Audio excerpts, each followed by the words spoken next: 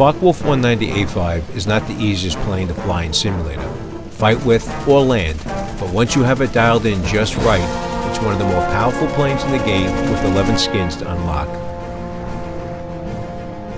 If or when Birds of Steel becomes backward compatible to play on the Xbox One, you will be able to take screenshots and videos like the one you are viewing right now of the Focke-Wulf 190 about to land.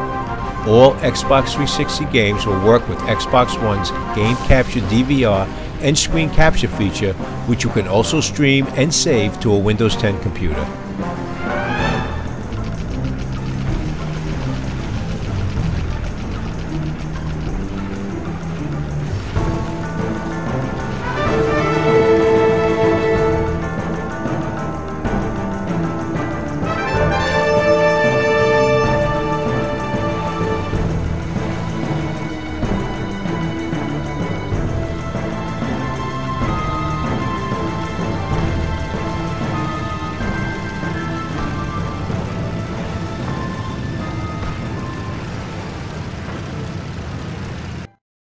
Birds of Steel needs more votes and comments.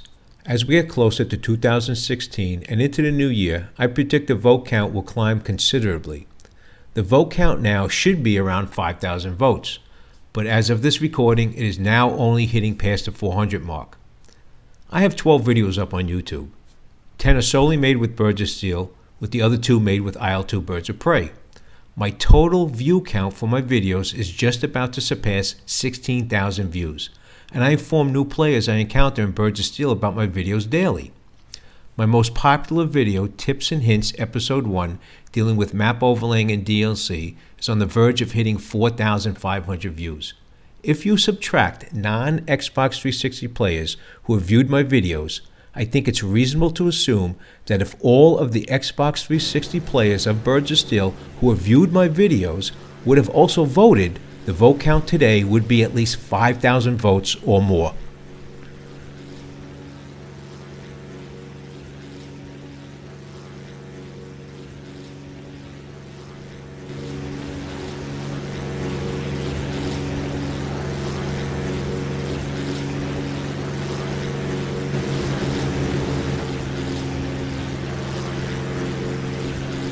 Now, voting is only part of getting of Steel to the Xbox One.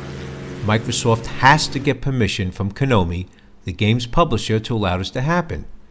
Back in June, when backward compatibility was first announced, I contacted Konami's customer support website and generated a ticket number and asked Konami to allow Birds of Steel to play on Xbox One.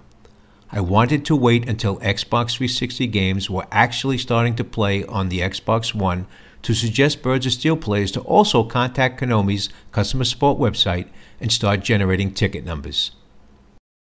I think this has to be done so it can be attacked on two fronts voting at Xbox.com and contacting Konami. I have a link in this video's YouTube description page to Konami's customer support website. On Konami's European game website, it provides a phone number in the United Kingdom for our Birds of Steel friends in Europe to call if you want to go that one extra step and also ask over the phone to allow Birds of Steel to play on the Xbox One.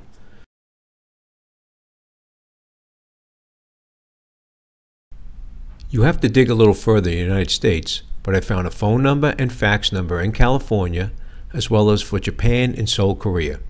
I will also post the phone numbers in the description page of this video.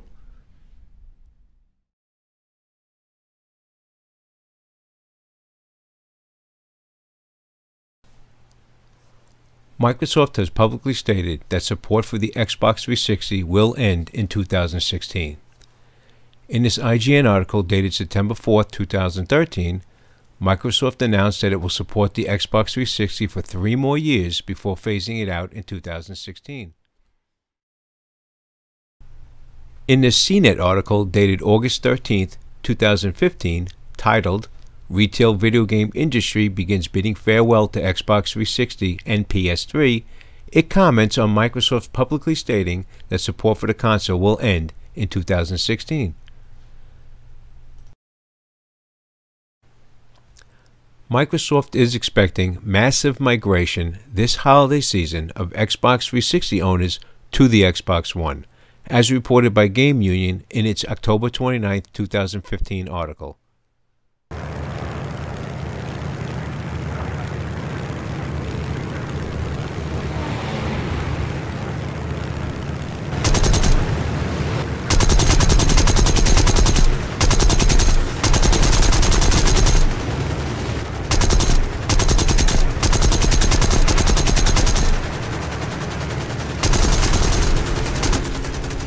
The month of November is important to Microsoft, especially the 12th, 15th, and the 22nd.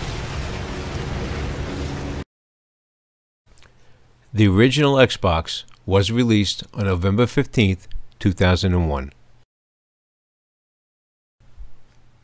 The Xbox 360 was released on November 22nd, 2005. The Xbox One was released on November 22nd, 2013.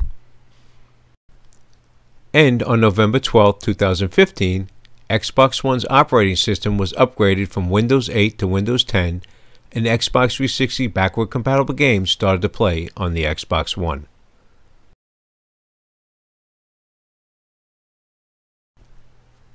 There is another date that is important to Microsoft.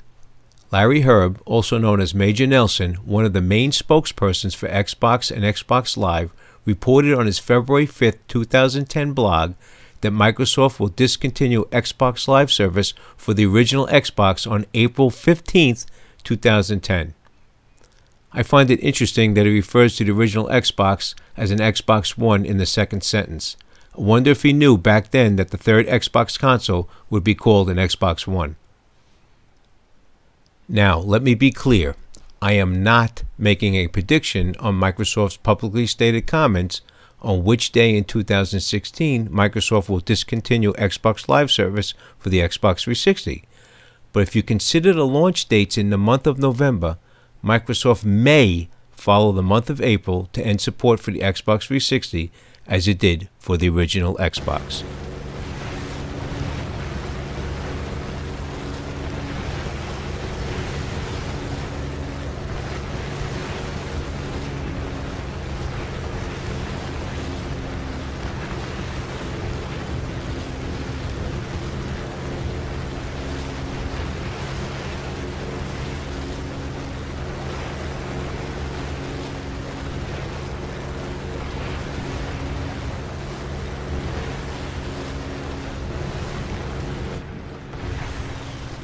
We are all fortunate to have games like Birds of Steel and IL-2 Birds of Prey on the Xbox 360.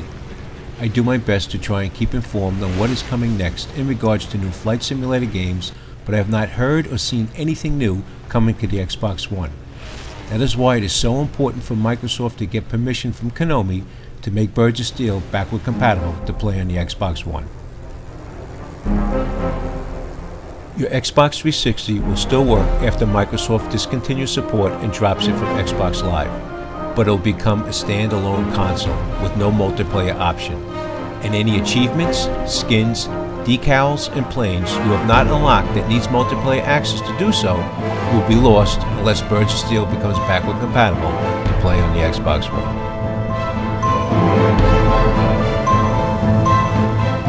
Closing, I ask of the Birds Steel community to continue to support this great game by encouraging other players to vote at Xbox.com and to contact Konami's customer website and start generating ticket numbers.